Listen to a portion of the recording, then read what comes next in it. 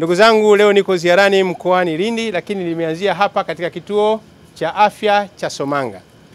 Na kwa nini nimeanzia hapa? Ni kwa sababu Mheshimiwa Rais alivyopita hapa, wananchi kiu yao kubwa ilikuwa ni swala zima la ujenzi wa kituo cha afya. Kwa hiyo katika ziara yangu mkoa wa Lindi nikaona nijiridhishe, nijipitie hapa nione kwamba maelekezo ya Mheshimiwa Rais yametekelezeka kwa, kwa kiwango gani. Mkuu wa mkoa, nimetembelea kituo hichi cha afya.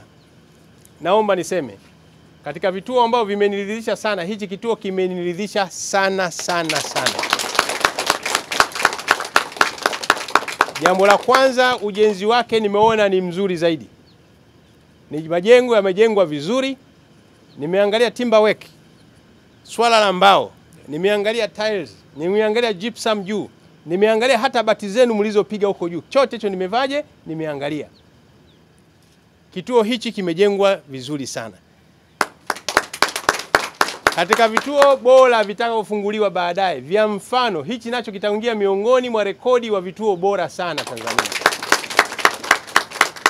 Kwa hiyo nishukuru sana usimamizi wako mkuu wa mkoa, mkuu wa wilaya, mkurugenzi wa halmashauri na timu yote.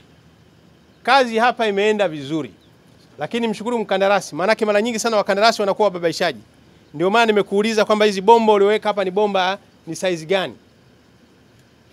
Wakati mwingine watu wanaweka bomba substandard, maji yakipita kidogo bomba inafaje? Inapasuka. Lakini nimeangalia hapa item kwa item, karibuni kazi nyingi hapa mmesimamia vizuri. Kwa hiyo binafsi nikiwa msaidizi wa Mheshimiwa Rais ofisini kwake kwa karibu, naomba niwaambie nimeridhika na ujenzi wa kituo hichi cha afya, lakini pia nimeridhika sana kwa sababu Mheshimiwa Rais ndo alitoa fedha yake ya kwanza, ilikuwa milioni ngapi? Ishirini ya kwanza.